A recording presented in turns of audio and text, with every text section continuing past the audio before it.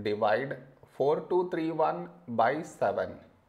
To do this division, we should frame it in this way.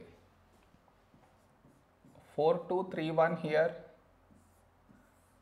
7 here. This is your step 1.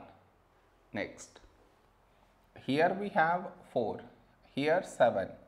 4 is smaller than 7. So we should take two numbers 42. When do we get 42 in 7 table?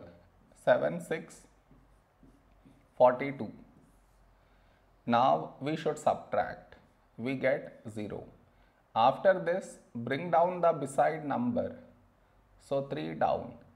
Here we have 3, here 7. 3 is smaller than 7. So we should bring down the second number. And the rule to bring down second number is put 0 here. Then only we can bring down this number. So 31.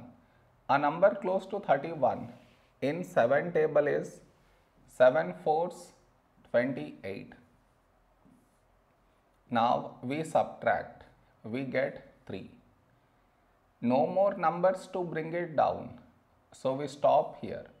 This is our remainder, this is our quotient.